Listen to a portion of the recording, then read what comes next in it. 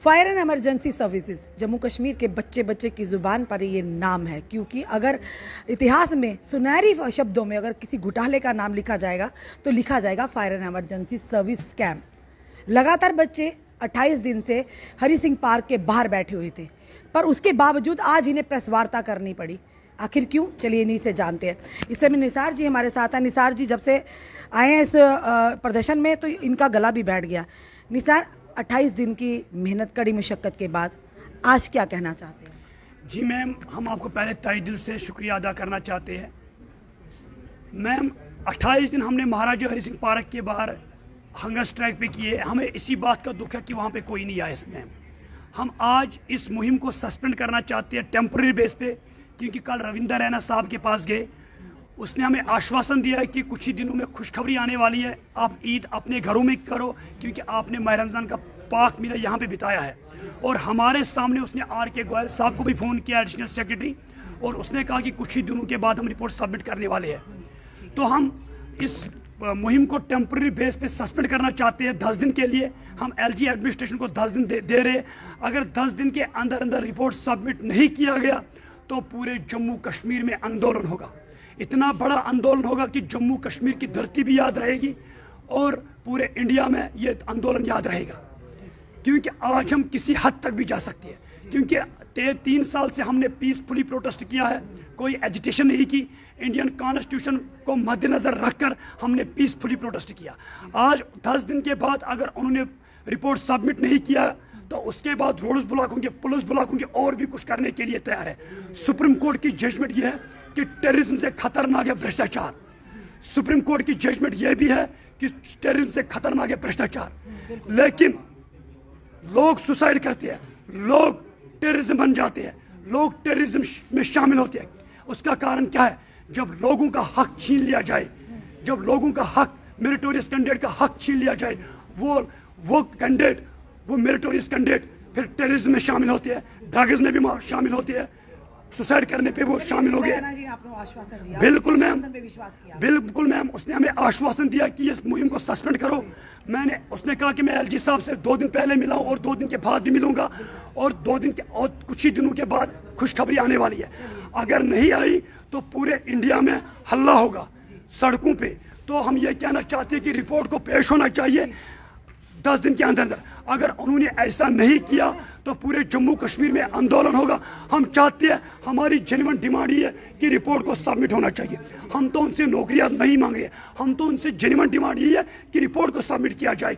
आपके चैनल के माध्यम से चीफ सेक्रेटरी अरुण मेहता साहब को और एडिशनल सेक्रेटरी आर के गोयल साहब और एल जी साहब को यह कहना चाहती है कि जल्द अज जल्द दस दिन के अंदर अंदर रिपोर्ट सबमिट कीजिए।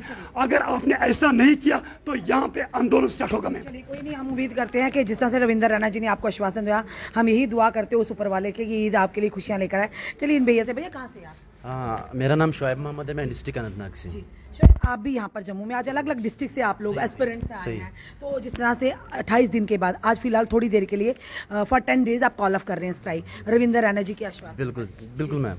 बड़ी बदकस्मती से कहना पड़ता है कि आज उनतीस दिन हो गए हैं। मैम हम फुटपाथ पे बैठे थे वहाँ पे कोई नहीं आ रहा था एलजी एडमिनिस्ट्रेशन की ओर से।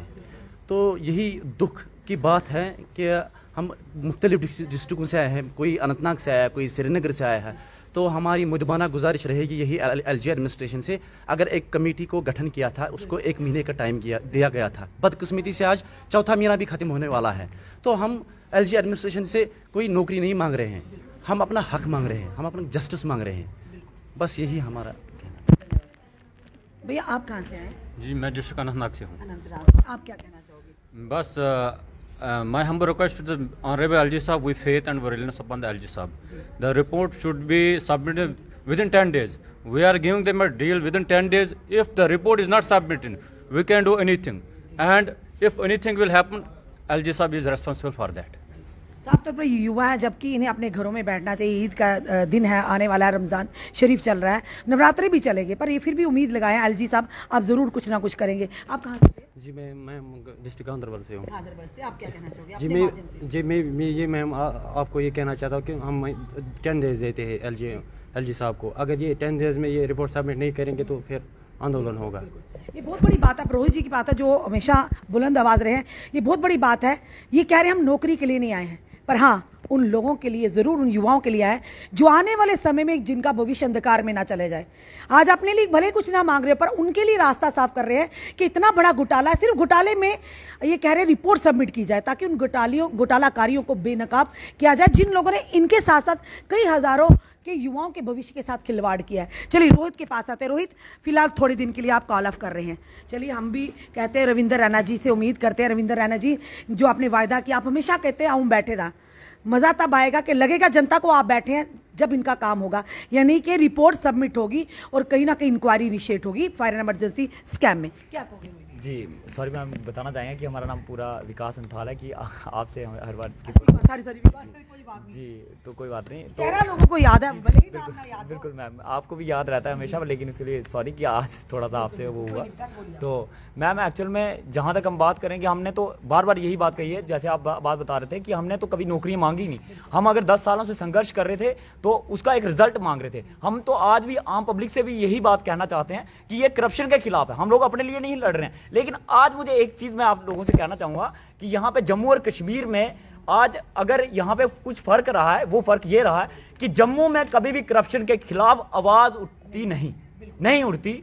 कश्मीर में उठती है, इसलिए ये लोग जो है गलत वे में जाते हैं। क्योंकि आज हमें समझ आई, क्योंकि अभी तक हमने बड़ी सारी करप्शन देखी, लेकिन हमने उसको गौर नहीं फरमाया कि इसमें नहीं होगा तो अगले में होगा। लेकिन जब हम इनके साथ जुड़े, हमने देखा कि अगर इस एक वे में हमें एक ना एक चूज़ करना चाहिए। जब हमने चूज़ किया, लेकिन आज हमें लग रहा है कि ये लोग गलत दिशा में क्यों जाते हैं? क्योंकि ये लोग अपने हक के लिए लड़ते हैं और जब इनका हक नहीं सुना जाता, इसलिए ये लोग गलत वे में जाते हैं। और आज अगर ऐसा नहीं हुआ, मैं एलजी प्रशासन से भी निवेदन करता हूँ और अपने भाजपा सरकार से भी निवेदन करता हूँ कि हम लोगों के साथ इतना गलत मत कीजिए। अग्गी हमें किसी और वे में जाना पड़े। कृपया करके हमारी एक ही डिमांड है कि 10 सालों से जो हमारे साथ गलत हो रहा था उसका अच्छे से रिज़ल्ट दे दीजिए क्योंकि हम इससे ज़्यादा वेट नहीं कर सकते। चलिए रविंदर रैना जी पर विश्वास है क्योंकि रविंदर रैना हमेशा गरीबों की सुनते हैं युवाओं की सुनते हैं। चलिए भैया भैया आपका नाम क्या है? राहुल शर्मा। राहुल शर्मा जी आप कहाँ से कठुआ से। कठुआ से। राहुल जी आज रविंदर राणा जी ने जिस तरह से आपको कहा कि आप घरों में जाइए भाई जो आए अलग अलग डिस्ट्रिक्ट से आए आप ईद मनाइए आपको खुशखबरी मिलेगी आपकी आप उनकी बात पर विश्वास करते हैं। बिल्कुल मैम। मैम कल हम बीजेपी ऑफ़िस में गए। उनको हम उनसे सारे मिले। उन्होंने क्या किया कि उन्होंने आर के साहब को फ़ोन किया। फ़ोन में यही बात की कि आर के साहब इनका स्टेटस कहाँ तक पहुँचा? उन्होंने कहा कि पंद्रह दिन से हम इसी काम से कर रहे हैं। इंक्वायरी कर रहे हैं। जल्दी जल्दी जल्दी से जल्द ये रिपोर्ट पेश होगा पब्लिक डोमेन में। तो अब हम यही गुजारिश करते हैं एलजी साहब से कि हमारे हमें जल्दी से जल्दी ये रुपये मतलब क्या बोलते रिपोर्ट मतलब पब्लिक डोमेन में लाओ ताकि हमें जल्दी जल्दी हमें इंसाफ मिले। अगर ऐसा नहीं हुआ तो हम इससे भी बड़ा प्रदर्शन करेंगे। जी। काफ़ी देर यानी कि 28 दिन के बाद, अब फ़िलहाल कुछ दिन के लिए अपनी जो स्ट्राइक थी, लगातार कंटिन्यू जो हंगर स्ट्राइक पे बैठे हुए थे, ये फ़िलहाल उसे कॉल ऑफ़ कर रहे हैं। वो भी उस आश्वासन पे, जबकि रविंदर रैना जी से मिले, उन्होंने कहा, आर के गोयल साहब से बात हुई, उन्होंने कहा, जल्द से जल्द रिपोर्ट पर ही काम कर और जल्द से ही रिपोर्ट सबमिट भी होगी। और उसी के चलते, चले, इन बच्चों ने, इन युवाओं ने आह्वान भी किया है कि अगर आने वाले समय में रिपोर्ट सबमिट नहीं की गई तो एक जन आंदोलन उमड़ेगा, जिसकी ज़िम्मेदारी इन युवाओं की नहीं होगी, प्रशासन और सरकार की होगी, जो लगातार इनकी बात को अनसुनी कर रहा है। अब देखना यह है कि रिपोर्ट कितनी जल्दी सबमिट होती है, क्योंकि हम उम्मीद करते हैं, रविंदर राणा जी चाहे कुछ भी कोई कहे, फिर भी एक काबिल नेता है। हर एक की आवाज़ को सुनते युवाओं की आवाज़ को सुनते हैं, उन्हें आगे तक ले जाने की कोशिश तो ज़रूर करते हैं। भले ही कई जगह उनके हाथ में कुछ नहीं होता, पर वो कोशिश तो करते हैं। और एलजी एडमिनिस्ट्रेशन लगातार घोटाला घोटालाकारियों पर शिकंजा कसे, उसी के चलते इन युवाओं की उम्मीद भी जगी थी कि एलजी एडमिनिस्ट्रेशन जो पिछले दस साल में नहीं हुआ एलजी राज में ज़रूर होगा। एलजी मनोज सिन्हा ज़रूर उन घोटालाकारियों को बेनकाब कर कर पब्लिक डोमेन में लाएँगे। चलिए देखते हैं दस दिन के बाद क्या होता है, क्या नहीं। क्या रविंदर राणा जी ने जो अपना वायदा किया है, जो ने कहा खुशखबरी मिलती है और जो ही खुशखबरी होगी, हम भी उम्मीद करते हैं, हम भी दुआ करते हैं उस रब से, उस अल्लाह से, उस वाहे गुरु से कि इन बच्चों को राहत कम से कम ज़रूर मिले। अपने कमेंट अपने सुझाव हमें ज़रूर दीजिए। इस वीडियो को जितना हो सके शेयर कीजिए। जुड़े रहिए हमारे साथ अगले अपडेट के लिए। जय हिंद, जय भारत।